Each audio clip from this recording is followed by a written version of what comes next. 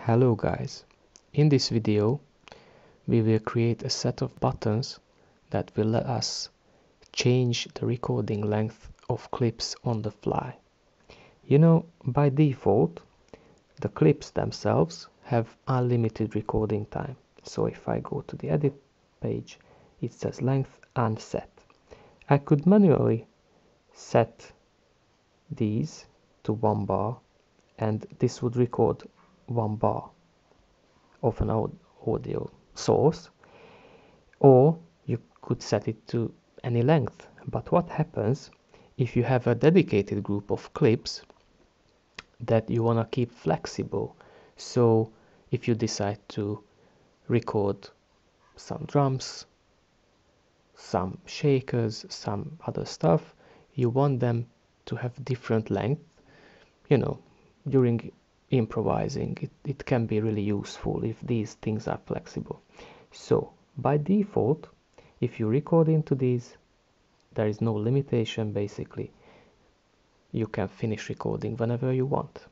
But what happens if you want to use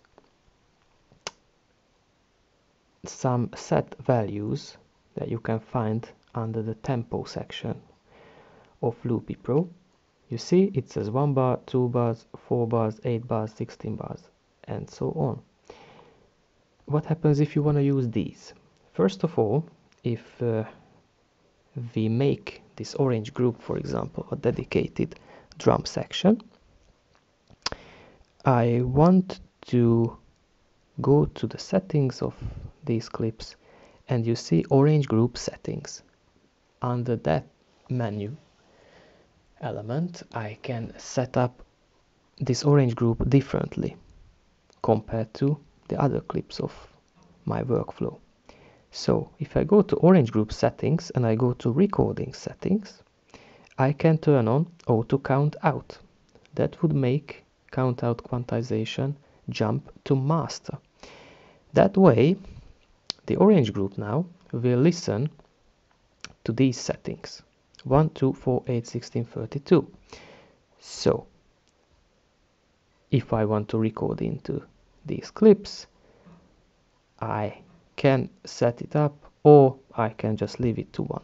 But since we are creative and I'm making this video on purpose, basically after making this canvas bigger,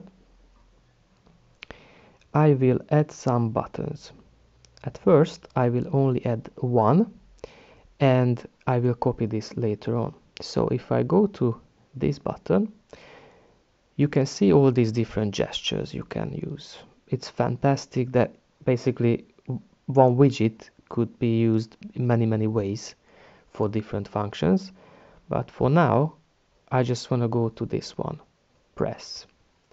I'm going to look for my session actions and this one says set master length.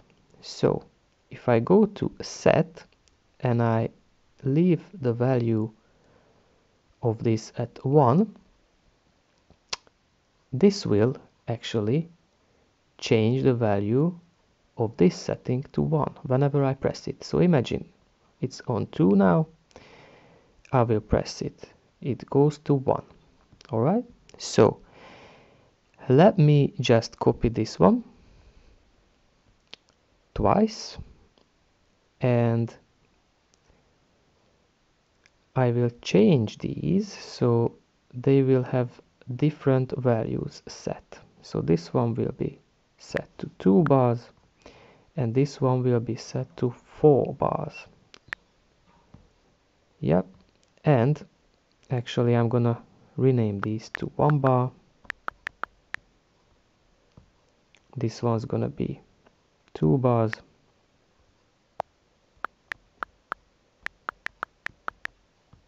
And the third one the last one will be four bars. So let's see what happens. I press 2 it jumps to 2 I press 4 it jumps to 4 so now when I'm pressing these things they will change the master length but this setting will only affect the orange group because I want it to be so. Alright, so you can of course map these buttons to your MIDI controller but for now I'm only gonna press it I have this hammerhead drum machine and I chose this because you see it has four different patterns programmed so if I'm taking four of these patterns it's gonna be four bars so I will be able to show you how does it look like so I press one bar let me see this. You see, we recorded one bar. In the mixer, it's muted. I recommend you watching my previous video, which is about using audio units that are pattern based. I created this mute uh, action because uh, if I play this, basically if it wasn't there you could hear the recorded loop and the, dr the drum machine at the same time and it would cause some distortion in the sound. So for now I'm gonna delete this and I set it to two bars. Now if I record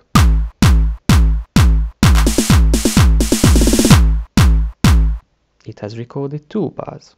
And just so you can see I'm not cheating